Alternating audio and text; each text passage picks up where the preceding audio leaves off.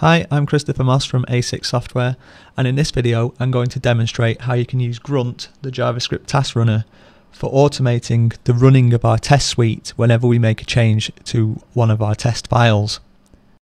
And what you can see in the background here is actually the automated tests in progress, but to get that all set up and working we're going to need to install Grunt, and I've demonstrated how to do this in an instruction file, but the rest of this video will basically show the full installation process and talk you through how to install it using my GitHub based instructions. So it's at github.com forward slash A6 software, then it's in a folder called helpful, and then in a folder called grunt automated testing config. And as you can see, it's all there, just literally copy and paste it in. The only thing to really be aware of is if you've got an older version of Ubuntu, you will probably need to do an apt-get update and then an apt-get upgrade.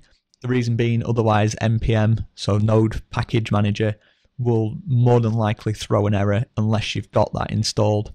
Uh, sorry, unless you've updated your Ubuntu server installation to one of the later versions.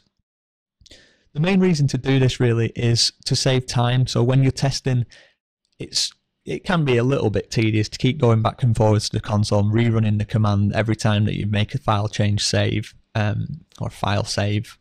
And then really what you want to do is have those tests running constantly so you know when things are breaking or you know it's that constant feedback loop that you're getting.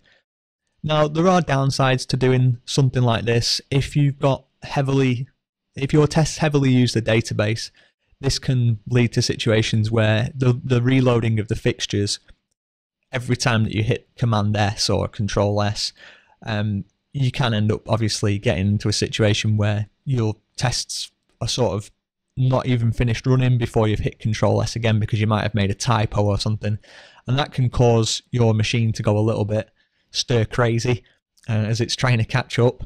So what I would advise is you don't really run this against heavily database intensive test files, nor would I really run it um, to trigger the acceptance tests either. That can be something that can be done with like a Git hook, but that's not really what we're trying to achieve here.